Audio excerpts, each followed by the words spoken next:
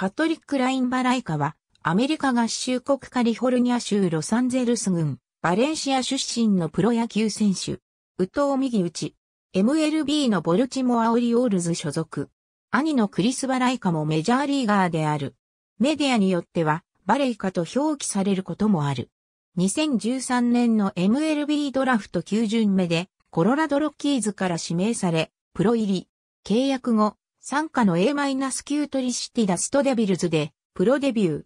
42試合に出場して打率。240、1本塁打、18打点、5盗塁を記録した。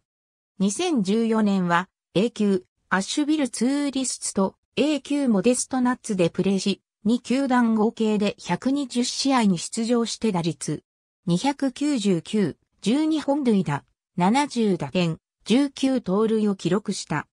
2015年は A 級ニューブリテンロックキャッツでプレーし、124試合に出場して打率235、8本塁打、57打点、19盗塁を記録した。2016年、マイナーでは A 級ハートフォードヤードゴーツとトリプル A 級アルバカーキアイソトープスでプレーし、136試合に出場して打率257、14本塁打、80打点、10盗塁を記録した。ロースター拡大後の9月4日にメジャー契約を結んでアクティブロースター入りすると、同日のサンフランシスコジャイアンツ戦にてダイソーでメジャーデビュー。この年メジャーでは13試合に出場して打率263、1本塁打、2打点を記録した。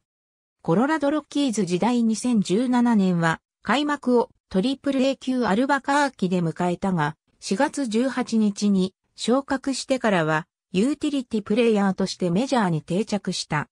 2019年10月30日にウェーバー工事を経てボルチモアオリオールズへ移籍したが、2020年1月10日にリチャード・ウレーニャの加入に伴ってディーフとなった。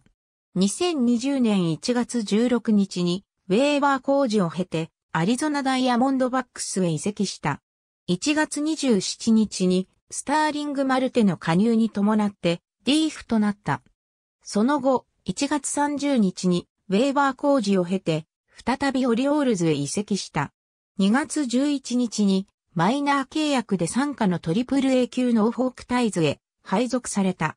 7月23日にメジャー契約を結んで40人枠入りした。この年は52試合に出場して打率277、8本塁打、16打点を記録した。ありがとうございます。